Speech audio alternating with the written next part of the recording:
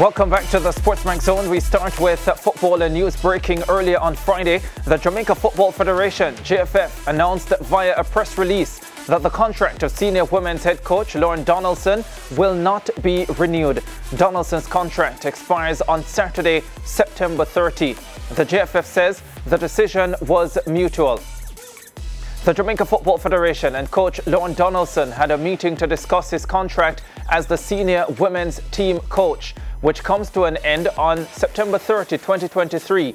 After an extended discussion, both parties came to an agreement that the contract would not be renewed. After being appointed in June 2022, Donaldson led the Reggae Girlz to their second consecutive World Cup where he marshaled the team to the knockout phase of the competition. The release from the JFF goes on to say a plan will be in place to facilitate the Reggae Girlz qualification for the inaugural Women's Gold Cup. The JFF is cognizant that the Reggae Girlz will be involved in CONCACAF Women's Gold Cup qualifying in less than a month we will immediately put the machinery in place to have competent staff in place for this important competition.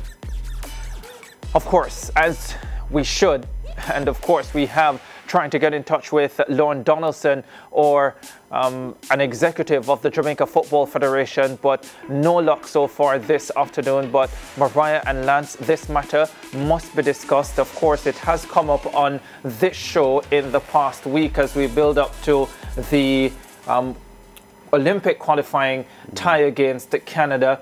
And uh, here we are with confirmation coming from the Jamaica Football Federation that Lorne Donaldson will no longer be the women's team head coach. Yeah. And it's news, Ricardo, as you said, we uh, discussed when we were getting ready for these matches against Canada. For me, I will say I was I'm not surprised. I am disappointed, but I'm not surprised. And I'm not surprised because of how the events led up to this. As I said before, he has been speaking out. He spoke about some of the things that he wished would have been done differently. And the moment I saw those articles coming to light before the matches, I felt as if something did not sit very well. Something was brewing, and I guess this is where the news has come to hand now. Lorne Donaldson is a coach I've had the opportunity to interact with, you know, going to the Reggae Girlz matches. I've listened to some of the girls' sound bites, you know, about his relationship with the team, and I felt that personally, he has been on the right track. It's unfortunate that the girls has not gotten the results that we want. And when we think about results, we want to see wins. That's all the fans care about and the people that support the team. However, we have to remember, when you get a new team, it takes time to create a winning culture it takes consistency. And coach has always spoken about the fact that the girls didn't get the practice matches that they wanted. They didn't get the opportunities that he would want for camps and all these different things. So I always have an issue when the coach is the first one to go without people considering there are so many different things that happen behind the scenes. So one, I'm disappointed that he has to go, but two, I'm also happy that he spoke out just to give us an insight into some of the things that he would have wanted before he left. Mm. Well, it's obvious that there are a lot of things going on that we don't know the details of.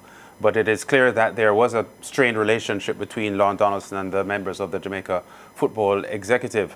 And um, I would suspect that that has led to this position that we are now in, where his contract is not being renewed. Because Lorne Donaldson, as you said, Mariah, has been outspoken about things that he think or he thought weren't going in the right direction. And usually, administrators don't like their employees uh, speaking, you know, with that with that kind of narrative. But uh, it's it's hugely disappointing because it is clear to me that this is not a a, a footballing decision because his performance as coach, as coach has been exemplary. In fact, the performance of the Reggae Girlz at the World Cup in Australia and New Zealand could easily be ranked as the greatest ever achievement that any football team out of Jamaica has, has achieved.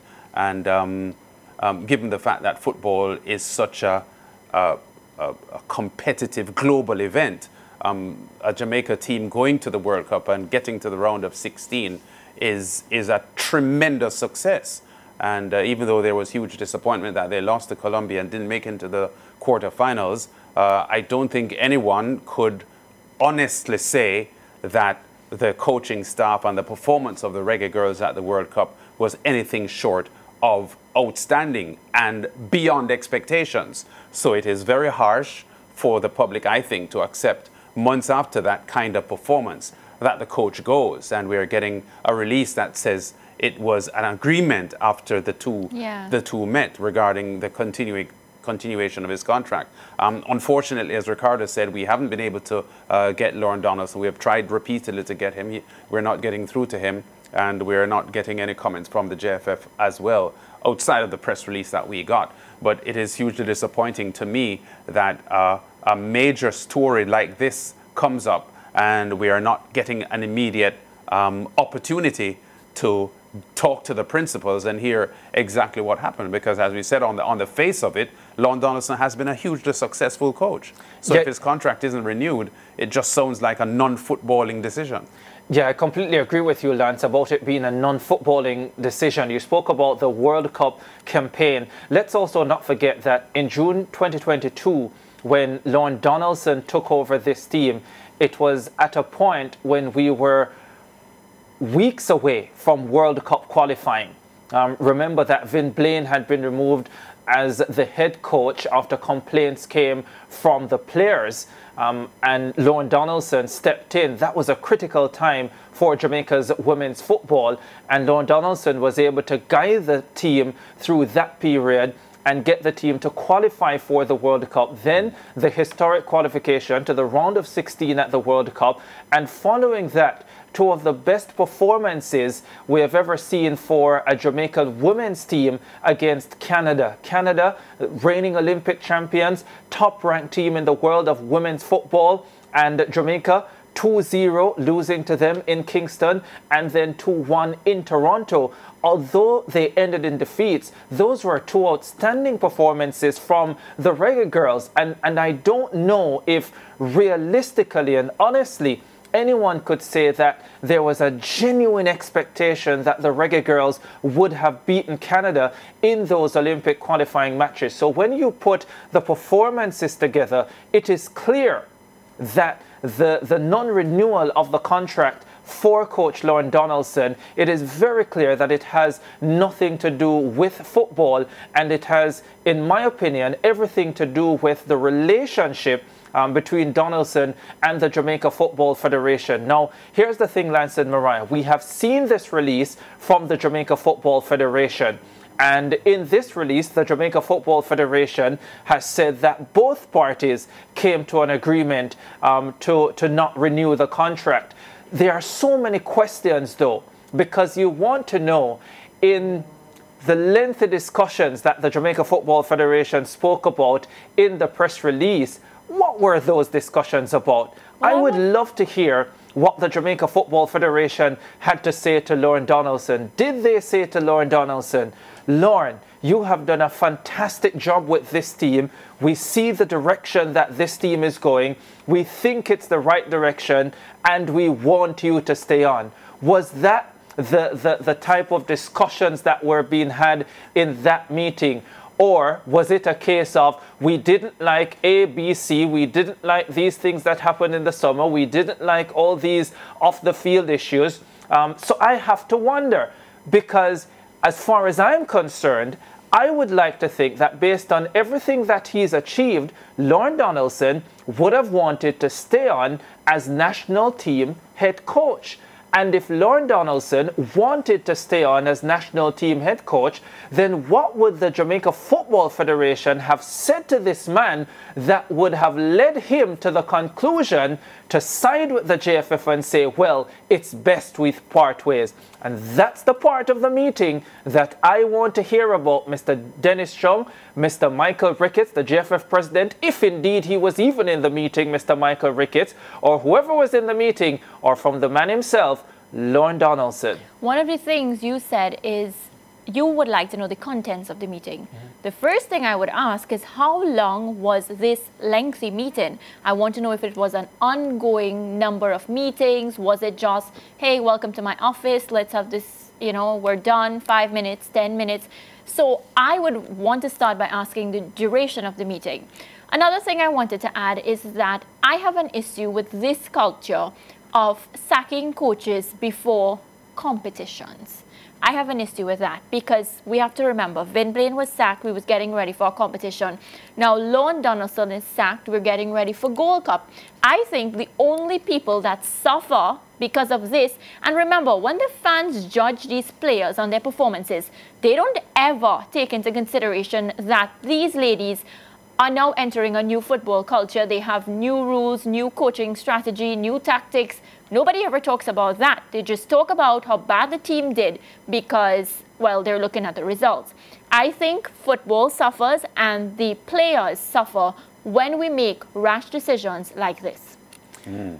The point has to be made, though, that when Vin Blaine was replaced by Lorne Donaldson, um, Vin Blaine had been undefeated with the team and it was the girls that had a problem with him. Yes. So that is how Lorne Donaldson became the coach. So the circumstances of Vin Blaine ending as the coach to Lorne Donaldson ending as the coach appear to be vastly different.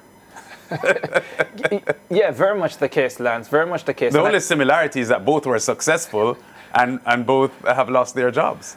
And I agree with Mariah so here. So maybe though, if you lost, you'd keep your job. Yeah, I, I agree with Mariah here, though, because I think we, we can't continue in a situation where you are sacking coaches weeks and months ahead of important tournaments. The CONCACAF Gold Cup qualifying um, tournament is, is, is a highly important event.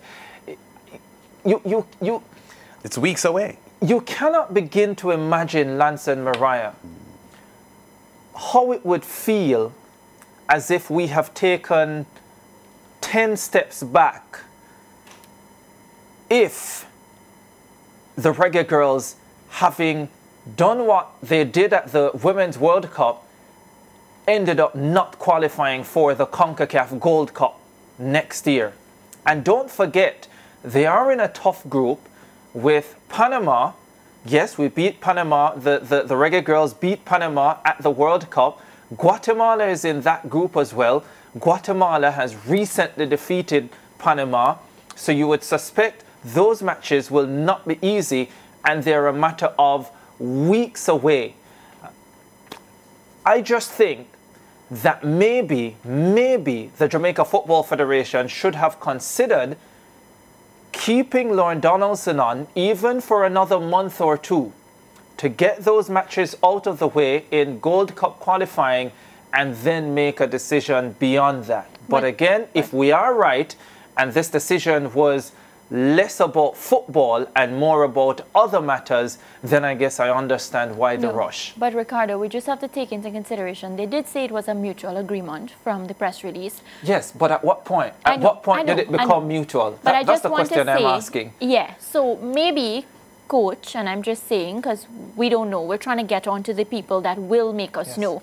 Maybe coach got so fed up of asking for the things that he wanted and he felt as if there was no solution. But that know? would mean, Mariah, that the conversation started on the wrong tone and then went down the wrong line from there. Because if you, if on the part of the JFF, you start the conversation on the right line, then I don't think you end up there. Yeah, um, there, there's, there's actually a report going around at the moment in the last few minutes suggesting that Lorne Donaldson has refuted the report, the JFF report, that it was a mutual decision. Oh? That it was a mutual decision so or that it was no. a lengthy discussion? I'm just seeing that it wasn't mutual from, from, from what Do, Do, Lorne Donaldson is saying. This is yes. unconfirmed, but it is something going around now that Lorne Donaldson has said, has refuted the the narrative that it was a mutual agreement. And oh. as I'm suggesting to you, Lance and Mariah, maybe at some point it was mutual. But if I'm because he gave up. If I'm in a meeting with you, Lance, and I'm saying I think this is the direction, and you're saying something completely different, there's going to come a point where one of us will say, you know what, let's agree to disagree. Yeah. If you if you agree to disagree, is that mutual? Or are you just frustrated and can't be bothered anymore, yeah. so you're moving on with your life? I think Lorne Donaldson wanted to stay on as Reggae Girlz head coach. And everything we have about this discussion must have that as the starting point that Lorne Donaldson wanted to stay Yeah. on as, To- as, to- as national on, women's on, a, coach. on a point of accuracy, though, the word mutual wasn't used in the press release, was No. it? They say they it just said agreed. agreement, They both agreed, yeah. which Yeah. means the same thing. But yes, Yeah. it it means I the same. that's But they said, I, they, I, I they want. both I, agreed th- not to renew the contract. they both agreed, reached Wait. an agreement. Yes, which Mm. again, Yeah. before you reach that agreement, Yeah. you had discussions. According to the JFF, it's Lengthy. lengthy. I can't wait to hear how long this lengthy discussion was. Um, but yes, I also want to know what the JFF was saying to Lorne that would have him move from a mm. position of I would like to remain as national team head coach to well, you know what? Maybe you're right. Let's go our separate ways. Mm. Well, Lorne Donaldson, we're trying to call you. We'd mm. love to have you on the Sportsmax Zone. We want to hear We- about that yeah, we- discussion. we've also got some reports that the meeting lasted only five minutes, which, I, which I'm seeing here coming through. Um, Lance has some un- un- sources. un- unconfirmed, but that is what we're hearing. All right, But well, we, we have to hear from Lorne Donaldson Yeah. because something isn't Break right here. As I said at the top of the show, I'm sure Lorne John- Donaldson wanted to continue in the job. and Yeah. we want to talk to him, but Yeah. we have to go, Ricardo. Yeah, the only thing I will say, um, Lorne, we have a new beautiful set here on Ocean Boulevard. It it's seats cool, four. it's nice, it's beautiful. It seats four or five. You can bring a member of the Jamaica Football Federation with you. Let's talk. sit down and have a chat on Monday.